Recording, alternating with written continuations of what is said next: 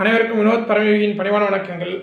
இன்றைக்கி என்ன பதிவு அப்படின்னா இந்த வலை வந்துட்டு மிகப்பெரிய ஒரு கதை படைச்சிருக்கு இந்த வலையில். என்ன காரணம் அப்படின்னா மோகன் பிரபு காஞ்சிபுரம் அப்படின்ற ஒரு இடத்துக்கு இந்த வலை ஏற்கனவே போன வலை. போன வலை வந்துட்டு ஹோல்டாகி நின்றுச்சு கொரியர் ஆஃபீஸ்லேயே காரணம் என்னன்னாக்கா ஒரு ஃபோன் வந்து பிக் பண்ணல. காரணம் அவர் வீட்டில் ஏதோ ஒரு சூழல் போல் அந்த சூழலில் ஒரு ஃபோன் அட்டன் பண்ண முடியாத ஒரு சூழ்நிலை ஏற்பட்டுருச்சு. இந்த மாதிரி நிறைய டைம் நம்ம நடந்திருக்கு. பட் இருந்தாலும் இந்த வலையை வந்துட்டு அவங்க பையன் வந்து ரொம்ப ஆசை ஆசையாக கேட்டாப்புல நம்ம சரி அவர் கேட்ட கொடுத்துட்டோம். கொடுத்துமே அவரால் அதை பெற முடியல. காஞ்சிபுரத்தில் ஒரு கோயில் பக்கத்துலேயே ஒரு வீடு அப்படின்னாப்புல. எனக்கு ரொம்ப சந்தோஷம்தான். அவர் என்ன எடுக்கல ஃபோன் எடுக்கல அப்படின்றது ஒரு விதத்தில் கஷ்டமாக இருந்தாலும் ஏன் எடுக்கல அப்படின்றதுக்கு? ஏன்னா நாங்கள் நிறைய இது மாதிரி ஃபோன் இஷ்யூஸ் ஏன்னா வலை போயிட்டு சிலவங்க பணம் பண்ண முடியாத சூழல் ஏற்படும். நாங்கள் ஃபோன் மேலே ஃபோன் பண்ணிகிட்டு இருப்போம் எடுக்க மாட்டாங்க. ஏன்னா நம்மளும் இதுக்காக முதலீடு போட்டு செய்கிறதுனால நம்மளும் கொஞ்சம் ரொம்ப வருத்தத்துக்குள்ளாகும். பட் இருந்தாலும் அந்த மனசெல்லாம் வந்துட்டு ஓரளவுக்கு அளவுக்கு திடமாக்கிட்டு நம்ம அடுத்தது என்ன நடக்குதோ அப்படின்றதுக்காக நம்ம பயணிப்போம். ஸோ அவர் வந்துட்டு அதுக்கப்புறம் ஃபோன் எடுத்தாப்புல எடுத்து இது மாதிரி ஏன் கோச்சிக்காதீங்க இந்த மாதிரி சூழல் ஏற்படுறது அப்படின்னாரு. மொபைல் ஃபோனுமே எடுக்க முடியாத ஒரு சூழல் ஆகிடுச்சு ஏன் கோச்சிக்காதீங்க அப்படின்னாரு. இருந்தாலும் அந்த வலை வந்துட்டு நம்ம என்ன பண்ணிட்டோம் அப்படின்னா அடுத்த ஒரு பீப்புளுக்கு அந்த வலையை அனுப்பியாச்சு. பட் இருந்தாலும் ஒரு மூணு நாள் நாலு நாள் நம்ம உடனே அடுத்த வலையை நம்ம ரெடி பண்ணி அவருக்கு சீக்கிரம் கொரியர் பண்ணிவிடுவோம் ஏன்னா அட்வான்ஸ் கொடுத்ததோட அப்படியே நின்றுது அதுக்கப்புறம் எனக்கு ஒரு பேமெண்ட்டும் அனுப்பிட்டாப்புல. சரி உடனே முடிப்போம் அப்படின்னு சொல்லிட்டு நல்லா ப்ராசஸ்லாம் பண்ணி மூணு கிலோ ஈயம் போட்டு அதே பதிமூணு அடி வலை வந்துட்டு மூணு தொள்ளாயிரத்துலேருந்து நாலு கிலோ வரைக்கும் வரும். நார்மலாக இருக்கும். வலை வாட்டுறதுக்கு சுலபமாக இருக்கும். என்ன ஒன்று அப்படின்னா அவங்க பையனுக்கு தான் இந்த வலை அப்படின்னு அவன் தான் ரொம்ப நாளாக தொந்தரவு பண்ணினே இருக்கான். உங்களுடைய சப்ஸ்கிரைபர் சார் அப்படின்னு சொன்னாப்புல. பையனோடனே பையன் உடனே எனக்கு ஒரு மனசில் வந்து என்ன சார் படிக்கிற பையனா? என்ன? அப்படின்னு கேட்டேன் ஆமாம் எட்டாவது படிக்கிறான் அப்படின்னாப்புல. படிக்கட்டும் சார் ஒன்றும் தப்பு இல்லை. பட் இதிலே இருக்கக்கூடாது. ஏன்னா படிக்கிறது வந்து படிப்பு வந்து ரொம்ப அவசியம் வாழ்க்கையில் அப்படின்னு சொன்னேன். அதுக்கு அவர் என்ன சொன்னார் அப்படின்னாக்கா என் பையன் நல்லா படிப்பான் சார் அவன் வந்து இது மேலே ஆர்வமாக இருக்கான் அப்படின்னோடனே எனக்கு ரொம்ப மகிழ்ச்சி ஆச்சு. ஒரு தந்தை வந்துட்டு ஒரு கைத்தொழில் சம்மந்தப்பட்ட ஒரு விஷயத்த ஏற்று அவங்க பையனுக்கு கொடுக்கணும் அப்படின்னு நினைக்கிறது வந்து இது வரைக்கும் யாரும் எனக்கு தெரிஞ்சு பண்ணலை. அவங்க அப்பா பண்ணதை வந்து நான் ரொம்ப மகிழ்ச்சியாக வந்து எடுத்துக்கிறேன். எல்லாருமே நீங்கள் இதை வீச்சு வலை மட்டும்தான் நீங்கள் நினச்சிருப்பீங்க. இதை சார்ந்து நான் நிறைய பதிவு கொடுத்துருப்பேன் நீங்கள் பார்த்துருப்பீங்க.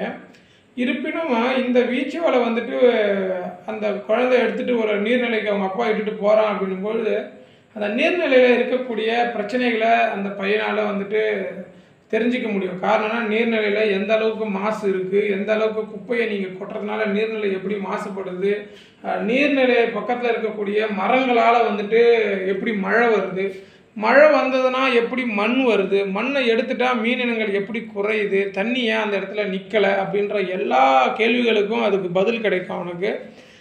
கண்டிப்பாக நீர்நிலைக்கு போயிருக்கணும். ஏன்னா நிறைய செல்வந்தருடைய பசங்களாம் போவாங்க பீச்சில் குளிப்பாங்க ஆற்றுல குளிப்பாங்க வீட்டுக்கு வந்துடுவாங்க ஆனால் இந்த வலையை எடுத்துகிட்டு போகிறீங்க அப்படின்னா கண்டிப்பாக நிறைய சேஞ்சஸ் நீங்கள் பார்க்க வேண்டியதாக இருக்கும். ஏன்னா என்னுடைய வாழ்க்கையில் விளையாட்டுக்கு நான் வந்துட்டு மீன் பிடிக்க போனேன். இன்றைக்கி வந்து நான் போன இடத்துல இன்றைக்கி தண்ணியே அந்த ஏரியில் நிற்கலை புதுச்சேரியில் திருவண்டார் கோயில் அப்படின்ற ஒரு இடத்துக்கு பின்னாடி ஒரு பெரிய ஏரி ஒன்று இருக்குது ஒரு சிவன் கோயில் பின்னாடி. அந்த ஏரியில் நான் ஒரு பதினைந்து வருடங்களுக்கு முன்னாடி அந்த இடத்துல மீன் பிடிக்க போனோம் விளையாட்டுக்காக அந்த இடத்துல அவ்வளோ நீர்கள் இருக்கும் அங்கே அவ்வளோ மீன்கள் இருக்கும். அதாவது விரால் மீன் சொல்லக்கூடிய முரில் ஃபிஷ் அந்த நீர்நிலையில் அவ்வளோ அவ்வளோவா இருக்கும்.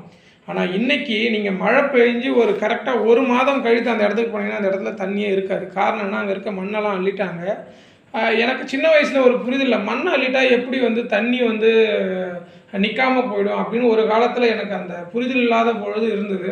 இன்றைக்கி மண் தான் வந்துட்டு நீர்நிலையை பாதுகாக்கன்றது நான் தொடர்ச்சியாக பயணிக்கும் போது தான் தெரிய வந்தது. ஸோ இது வந்து அந்த மாணவன் அங்கே போகும்போது கண்டிப்பாக தெரிஞ்சுக்குவாப்புல. அதே மாதிரி நீர்நிலையில் இன்றைக்கி எவ்வளவு குப்பைகள் இருக்குது என்ன மாதிரியான கழிவுகள் அங்கே கொட்டப்படுது அப்படின்றதுமே அந்த மாணவர் எட்டாம் வகுப்பு மாணவருக்கு வந்து தெரிய வந்துடும் அப்போ ஒரு பொருளை எப்படி ரீயூஸ் பண்ணுறது ரெடியூஸ் பண்ணுறது ரீசைக்கிள் பண்ணுறது அப்படின்றதுமே அவருக்கு தெரிய வரும். ஒரு கைத்தொழிலுமே அவருக்கு தெரிய வந்துடும் இந்த வலையை எடுத்துகிட்டு போயிட்டாங்க இந்த வலையை எடுத்துகிட்டு போய் வாட்டுறாங்க அப்படின்னாக்கா கண்டிப்பாக இடுப்பு சாதம் வந்துட்டு அவருக்கு வரவே வராது. அதேமாரி வயிறு வந்து பெருசாக ஆகவே ஆகாது. ஏன்னா இந்த வீச்சு வலையை பயன்படுத்துகிறவங்களுக்கு இடுப்பு பகுதியில் இருக்கக்கூடிய கொழுப்பு சத்தெல்லாம் கரைக்கக்கூடிய ஒரு பயிற்சியாகவே இருக்கும். இது விசிறுவலை வாட்டுறவங்களுக்கு தெரியும் மீன் பிடிக்கிறவங்களுக்கு தெரியும். இருந்தாலும் இது நம்ம ஒரு ஆசிரியராக இருந்து இதை எக்ஸ்பிளைன் பண்ணும்போது சில நான் அனுபவத்தில் இதை வந்து உங்களுக்கு பகிர்ந்துக்கிறேன். ஏன்னா இது வீச்சுவலை வந்து வெறும் உணவுக்கான ஒரு தேடல் மட்டும் இல்லாமல் இது வந்து ஒரு வாழ்வாதாரத்துக்கான தேடல். அந்த தம்பிக்கிட்ட சொன்ன அந்த தம்பிக்கிட்ட அவங்க அப்பாட்ட என்ன சொல்கிறேன் அப்படின்னாக்கா படிப்பு வந்து வாழ்க்கையில் வந்து மிகப்பெரிய வரவேற்பு நம்ம கொடுக்கும். படிப்பு நிறைய பேர் வந்து படிப்பை பற்றி படிப்பு இல்லாமல் வாழலாம் அப்படின்னு நினைக்கிறாங்க. ஸோ அது இல்லை. நீங்கள் படிச்சீங்க இப்போ நான் படித்ததுனால தான் இந்த வலையை வந்துட்டு நிறைய பேருக்கு கற்றுக் கொடுக்க முடியுது. இப்போ நீங்கள் ஒரு கலையை கற்றுக்கிட்டீங்க அப்படின்னா உங்களுடைய குடும்பம் உங்களுடைய சார்ந்து மட்டுமே வாழ்க்கை ஓடும். ஆனால் நீங்கள் ஒரு ப கல்வி பயின்றீங்க அப்படின்னாக்கா உங்களுடைய சந்த உங்களுடைய சந்ததி சங்கதி மட்டும் இல்லாமல் அடுத்த பீப்புளுக்குமே நீங்கள் சொல்லிக் கொடுக்க ஆரம்பிப்பீங்க. அடுத்த மக்களுக்கும் நீங்கள் சொல்லிக் கொடுக்கும் பொழுது உங்களுடைய கலை வந்து மேன்மேலும் வளர்ச்சி அடையும். ஸோ அதுக்கு முக்கிய காரணமே கல்வி தான் ஒரு ஆசிரியர் தன் தான் மட்டும் தான் படித்தேன் மற்றவங்களுக்கு எதுவும் தெரியக்கூடாது அப்படின்னு நினச்சிருந்தாருன்னா இன்றைக்கி நிறைய மாணவர்கள் உருவாகிருக்கவே மாட்டாங்க. ஸோ அப்போது கல்வி வந்து எந்த அளவுக்கு அவசியமானதுன்றதை மட்டும் மைண்டில் வச்சுங்க. என்னுடைய மனமார்ந்த வாழ்த்துக்கள் அந்த தம்பிக்கு. நல்லா படிக்கணும் நல்ல நிலைமைக்கு வரணும். இந்த வலை மூலயமா அவர் வந்து ஒரு சுற்றுச்சூழலையும் தெரிஞ்சுக்குவாப்பில். என்வரான்மெண்ட் எப்படி இருக்குது நீர்நிலை எப்படி இருக்குது அப்படின்றதுமே அவர் புரிஞ்சுக்குவார் நான் நம்புகிறேன் என்னுடைய ரசிகர்களுமே சொன்னாப்புல சார் உங்களோட வீடியோவை தொடர்ச்சியாக பார்த்துக்கிட்டே இருப்பேன்? அப்படின்னு சொன்னாப்புல. அவங்க அப்பாவுமே உங்கள் வீடியோ தான் சார் எல்லாத்தையும் பார்ப்போம் அப்படின்னாப்புல.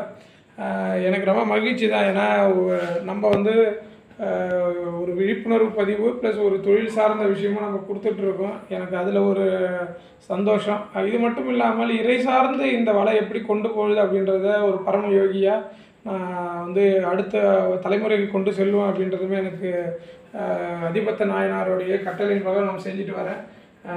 இந்த வலை வச்சுக்கிறவங்க கண்டிப்பாக வாழ்க்கையில் அவங்களுடைய வாழ்நாளில் எந்த ஒரு கஷ்டமும் இல்லாமல் சந்தோஷமாக வாழ்வாங்க அப்படின்றது நான் இருக்கிறேன். அதனால் நான் சொல்ல வரேன்.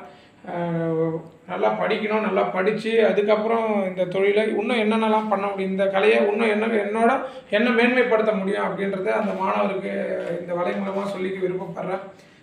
நீர்நிலையை முடிஞ்ச அளவுக்கு அவங்கவுங்க ஏரியாவில் இருக்கக்கூடிய நீர்நிலையை பாதுகாக்கிறதுக்கு முயற்சி பண்ணுங்கள் முடிஞ்சதுன்னா நீங்கள் ஒரு மீன் பிடிக்கும் பொழுது முதல் மீனை வந்துட்டு ஆற்றில் விடுறதுக்கு முயற்சி பண்ணுங்கள் முதல் மீன் வந்து நீங்கள் அதிபத்த நாயனார் அதாவது மீனவ சமுதாயத்துக்கு அதிபதியாக இருக்கக்கூடிய அதிபத்த நாயனாருக்கு நீங்கள் சமர்ப்பிக்கிறதா செய்யுங்க. நான் அதை செஞ்சுட்டு வரேன். நீங்களும் பிடிக்கிற மீனில் ஒரு மீனை வந்து இறைவனுக்காக கொடுக்க முடிஞ்சதுன்னா எனக்கு ரொம்ப சந்தோஷம். கண்டிப்பாக வந்து இறை உங்கள் கூட இருப்பார் அப்படின்றத நம்புகிறேன் வாழ்க யோகம். யோகம் மில்லட்டும் அடுத்த பதிவில் கண்டிப்பாக சந்திக்கிறேன். நன்றி.